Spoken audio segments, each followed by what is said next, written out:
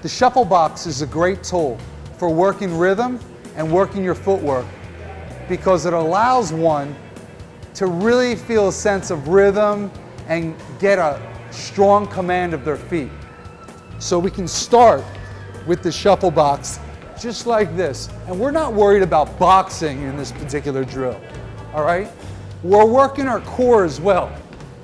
The, the, the back is leaning forward somewhat, our core's tight, all right? And we're working an athletic swing with our arms, working the opposite arm forward, and we're shuffle boxing back and forth.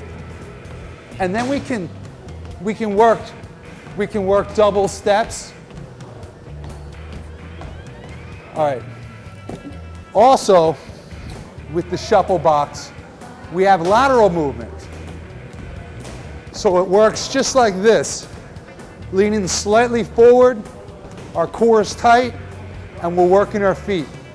This is a great way to supplement your footwork. Other than jumping rope every day, work the shuffle box.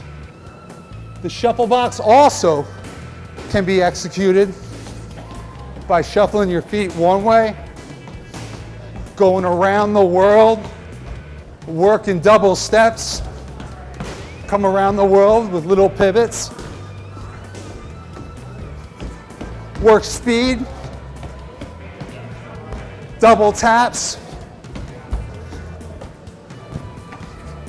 That's the shuffle box. Great way to start your day.